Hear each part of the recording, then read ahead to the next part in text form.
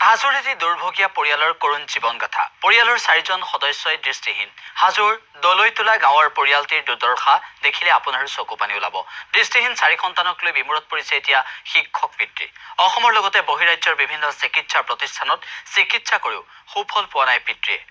চাৰি সন্তানৰ দুৰ্দশাত শোকত ভাগি পৰিছে পিতৃ তাজনুৰ আলী। অসমবাসীৰ পৰা এতিয়া সহায় ভিক্ষা কৰিছে পিতৃ তাজনুৰ আলীয়ে।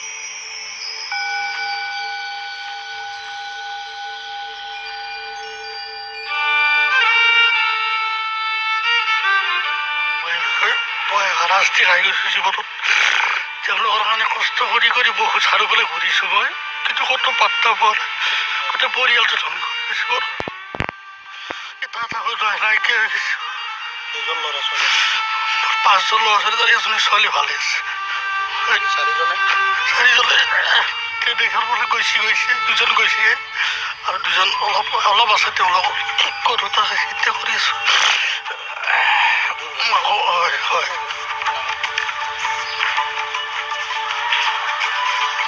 বিসহ জীৱন কটাবলগীয়া হৈছে এওঁলোকৰ সন্তানে। বহিৰাজ্যত চিকিৎসালয়ত চিকিৎসা কৰিও এতিয়া সুফল পোৱা নাই। আৰ্থিক সংকটত ভুগিছে এই পৰিয়ালটো হাজোৰ এটি দুৰ্ভগীয়া পৰিয়ালৰ কৰুণ জীৱনগাথা আপোনালোকে দেখিবলৈ পাইছে। তাজনুৰ আলী পিতৃ এতিয়া দুখত মৰ্মাহত হৈ পৰিছে শোকত ভাগি পৰিছে। হাজোৰ দলৈতোলা গাঁৱৰ এই পৰিয়ালটোৰ দৃষ্টিহীন চাৰি সন্তানক লৈ এতিয়া দুখত ভাগি পৰিছে পিতৃ।